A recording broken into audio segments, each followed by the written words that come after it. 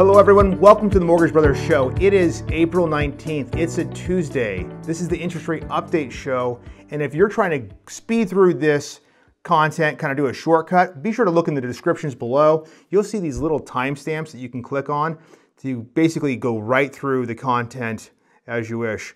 And if you are not subscribed and you're trying to get a mortgage to purchase a house or refinance, this is a great channel to subscribe to. Also, if you're a realtor, you're a home seller, and you're just looking to get information of where the market's at, this is a great channel to follow as well.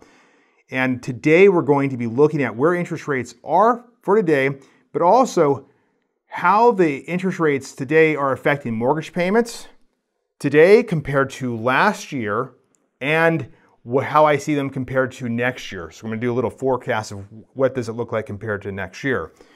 And a quick disclaimer before we get going we are not financial advisors. This is not financial advice. This is for informational purposes only. Also, we are only licensed in the state of Arizona, which means we can only help specifically borrowers looking to get a mortgage for a home purchase or refinance here in Arizona. But don't worry, if you're from any other state, all the loan programs we discuss are nationally originated, so this channel is still very relevant to you to follow. All right, so let's get right into it. Interest rates today, Tuesday, right? Tuesday, April 19th, we see the 30 year fix at 4.99%, the 15 year fix at 4.125, five year ARM 3.875, 30 year fix FHA is 4.49, and the VA loan 4.49. So these are a little bit higher than, than yesterday. We see that continued trend going up. Okay, so today, now this chart is just, these are our assumptions. If you're watching this, you're really analytical, you can kind of pause this, you can look at these numbers here. What these assumptions are saying is that over the last 12 months, homes have appreciated 19%. That's one assumption. And then the another assumption is what will homes appreciate between now and next year? For the next 12 months, we anticipate 7%. Okay? So that's kind of baked into these formulas. Um, the assumption, where were rates last year? 3%. Okay, we're just rounding it off to three. Uh, last month, we're going to be because we're going to be comparing the, last month as well. We, we saw them at about, about 4.1%. This is the 30-year fix we're talking about. Today we see that 4.99, and we're just saying, you know, I'm going to estimate next year. Let's just say rates are the same, 4.99 as today. And here's the uh, the rest of the payment factors, 20% down, okay? This is, I'm also gonna be showing you what your salary, what your, what your income has to be, not necessarily salary, but your total annual income has to be uh, to qualify for these mortgages. And I'm also plugging in what if a borrower has $1,500 of non mortgage debt? Okay, so these will all come into play here soon. So let's look at this first table. Last year, again, this is for uh, this is actually uh, for Maricopa County. Uh, this is the median home price in April 2021 was about $395,000. So that home today is worth 470,000. Okay, that and last month that same house was $463,000. So we've seen that appreciation from 1 year ago, 1 month ago, and then today. Now, with the next, anticipating a 7% inflation or 7% appreciation, no matter what word you want to use, the home will either appreciate or inflate. If we say 7% a year, next year the houses will be worth, this house will be worth 502. All right. Now, if we just look at the consistent down payments, 20% across the board, you can see the 3% interest rate last year for this this same home, this median home price here in Maricopa County, with taxes and insurance and a homeowner's insurance, homeowners association payment total, that house would be the payment would be 1680.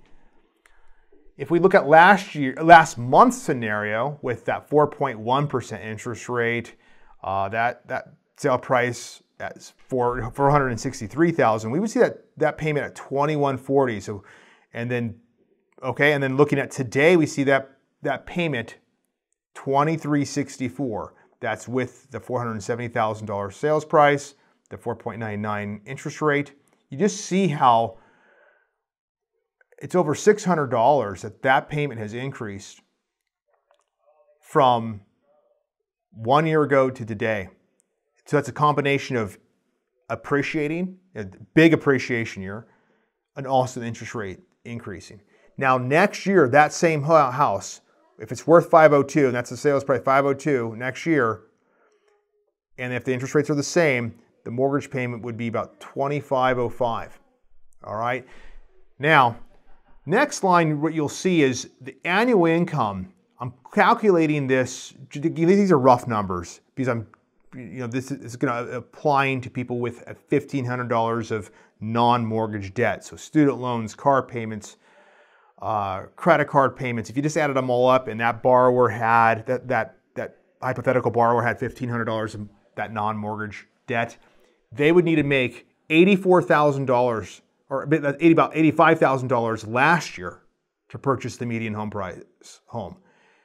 Today, they would need to make about $103,000.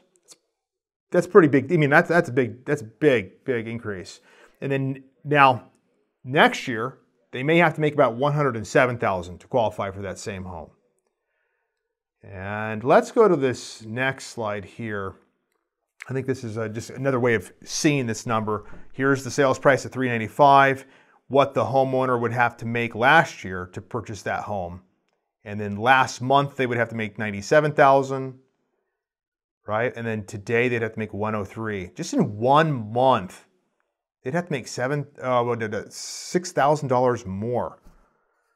It's staggering. Um, we did. We just have seen prices go up so much and the next year about 106. And then this is the total monthly payment breakdown where we see the total principal and interest over last year, last month, today, and estimated next year.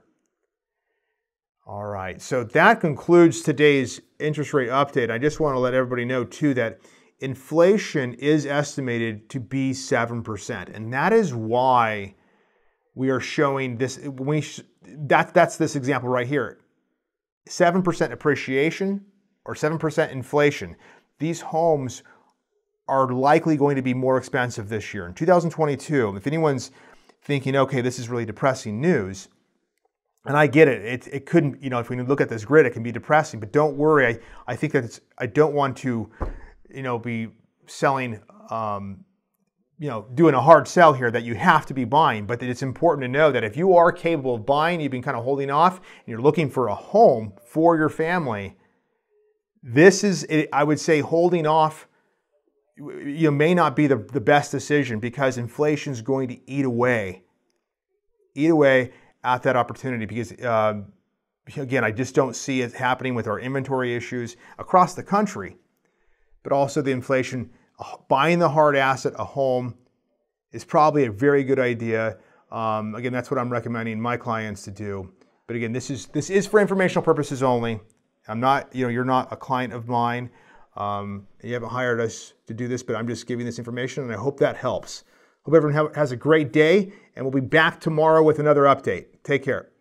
Hey guys, thanks for listening to the Mortgage Brothers podcast. Please let us know if you have any questions you'd like us to answer. You can email your questions to team at azmortgagebrothers.com and be sure to ask us for a free quote on your next mortgage. We'll be sure to give you personalized service and help you through the whole process.